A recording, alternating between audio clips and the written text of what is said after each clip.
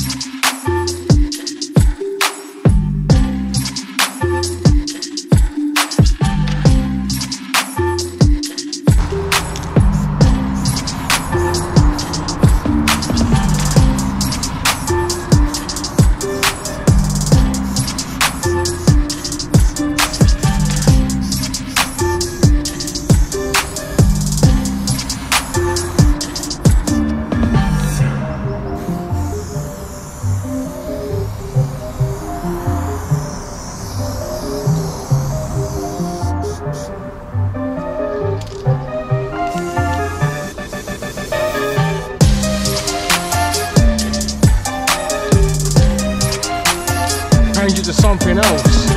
Like you're onto a winner when you've got O's in your pieces.